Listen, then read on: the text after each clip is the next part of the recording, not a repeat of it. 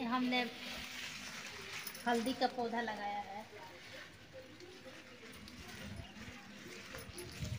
एक पाइप से पाँच के जी हल्दी निकलता है। ये भी पूरा जैविक है, इस पर कोई केमिकल नहीं है। ये मूली में हमने लगाया है बाँस पाइप में। देखिए कितना अच्छा मूल्य हुआ है। पूरा पाइप मूल्य है।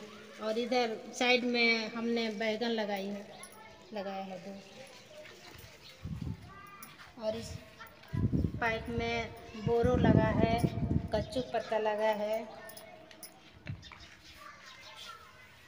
और इस पाइप में फूल और सदाबहार का और ये तुलसी का पौधा लगाया है।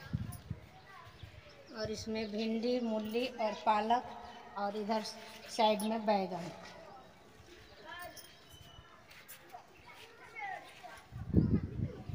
और इस पाइप में हमने भिंडी लगाया है और बैगन।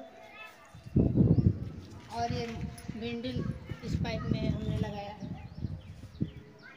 ऐसे हम रहरिया लगाया था। तो इसमें कीड़ा लग गया था तो इसको हमने कट कर दिया है। अब इसमें से ब्रांच जो देगा, उसमें नया पौधा निकलेगा। और ये मिर्ची का पौधा है। मिर्ची बहुत बढ़िया, देखिए कितना हुआ है।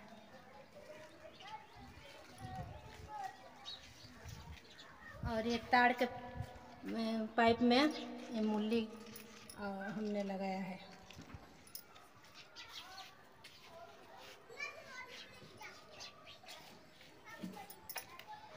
देखिए भिंडी कितना ग्रोथ किया है, इसका जड़ देखिए कितना मज़बूत हुआ है। अब इसमें फल लग रहा है।